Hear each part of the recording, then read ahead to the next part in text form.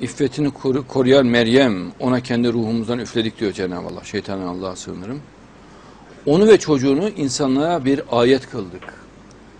Bir süs, bir güzellik, örnek insan. İsa Mesih örnek insan olarak yaratıldı. Ve Cenab-ı Allah örnek bir insanı dünyaya gönderiyor. E adamlar muhatap dahi olmuyorlar.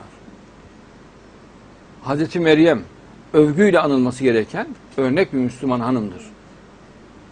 Hiç ağzına dahi almıyorlar. Bak onlar işlerini kendi aralarında parça parça dağıttılar diyor Allah. Şeytandan Allah'a sığınırım. Dinlerinde bölünmeler yaptılar. Mezheplere, itikat bölümlerine ayrıldılar. Hepsi bize döneceklerdir diyor Allah. İntikam alacağım diyor. Bak onlar işlerini kendi aralarında parça parça dağıttılar.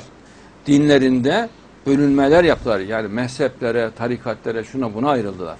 Her biri kendi gücüyle övünür diyor Allah. Her biri kendini üstün görür diyor.